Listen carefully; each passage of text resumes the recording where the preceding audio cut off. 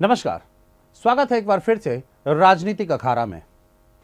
इस देश में मिलीजुली सरकारों के स्थायित्व का रिकॉर्ड भी मिला जुला ही रहा है। विभिन्न दलों के गठजोड़ से बनी सरकारों ने चार दफ़ा अपना कार्यकाल पूरा किया तो अन्य मामलों में इतनी ही दफ़ा समय से पहले सरकारें गिर गई। एक बार फिर 2019 के चुनाव के बाद मिली जुली सरकार बनने की जब संभावना ज़ाहिर की जा रही है तो उसके स्थायित्व को लेकर भी अभी से ही सवाल उठने लगे हैं। ऐसे में पिछले रिकॉर्ड को देख लेना दिलचस्प होगा। कभी कभी सवाल उठता है कि इसके लिए नेता जिम्मेदार रहें या जनता। ऐसे में अधिकतर मतदाता यही चाहते हैं कि अनावश्यक चुनावों की नौबत ना आए। अब देखना है कि आगे क्या होता है। वैसे इस सिलसिले में यह जान लेना प्रासंगिक होगा कि ऐसा नहीं है कि अपने देश में सिर्फ़ मिलीजुली सरकारें ही अस्थायी साबित हुई हैं। कई बार तो बहुमत वाली सरकारों ने भी अपना कार्यकाल पूरा नहीं किया, या फिर पूरा नहीं होने दिया गया। उन्नीस और 1977 इसके उदाहरण हैं। उन्नीस में कांग्रेस के महाविभाजन के बाद तत्कालीन प्रधानमंत्री इंदिरा गांधी की सरकार अल्पमत में आ गई थी। सीपीआई और द्रमुक जैसे कुछ दलों ने सरकार को बाहर से समर्थन किया और सरकार चलने लगी। पर जब इंदिरा गांधी ने यह महसूस किया कि उन्हें दबाव में काम करना पड़ रहा है। नतीजतन, उन्होंने समय से एक साल पहले ही लोकसभा का मध्यावधि चुनाव 1971 में करवा दिया। 1977 की मोरारजी देसाई सरकार एक दल के बहुमत वाली सरकार थी, पर सत्ताधारी जनता पार्टी में विभाजन के कारण बीच में ही सरकार गिर गई। 1999 में गठित अटल बिहारी वाजपेयी सरकार ने अपना कार्यकाल पूरा किया। यह मिली जुली सरकार रही। हाँ उस सरकार ने अपनी मर्ज़ी से कार्यकाल पूरा होने के कुछ महीने पहले ही चुनाव करवा दिया। वैसा करने के लिए उनकी कोई मजबूरी नहीं थी।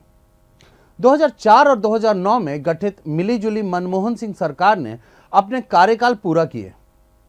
उन्नीस सौ इक्यानवे में पीवी नरसिम्हा राव के नेतृत्व में गठित सरकार को भी लोकसभा में बहुमत नहीं था।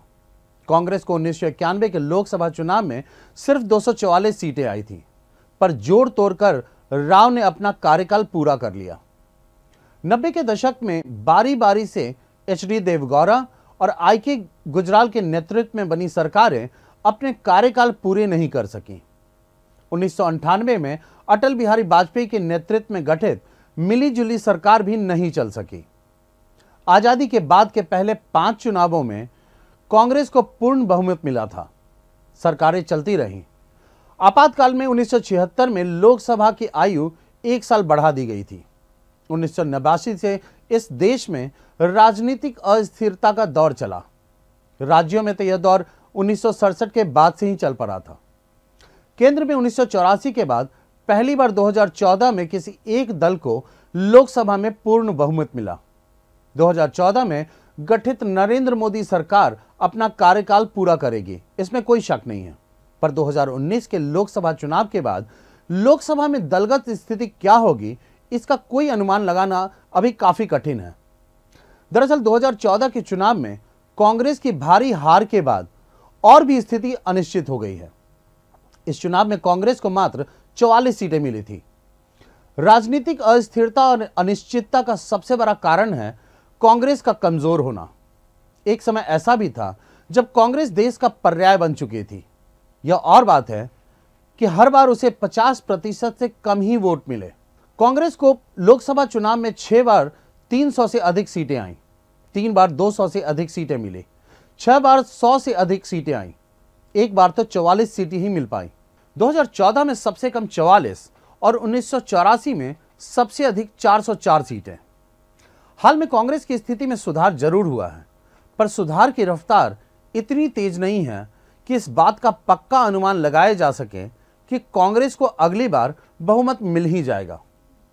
बीजेपी 2014 वाली स्थिति पर पहुंचेगी, यह भी नहीं कहा जा सकता। हाँ राजनीतिक हलकों में यह अनुमान लगाया जा रहा है कि यदि मोदी सरकार ने इस बीच कुछ चौंकाने वाले फैसले किए तो उसे एक बार फिर बहुमत मिल सकता है। जो हो अधिकतर राजनीतिक पंडितों का यही अनुमान है कि सरकार जिस पक्ष की भी बने मिली जुली ही होगी।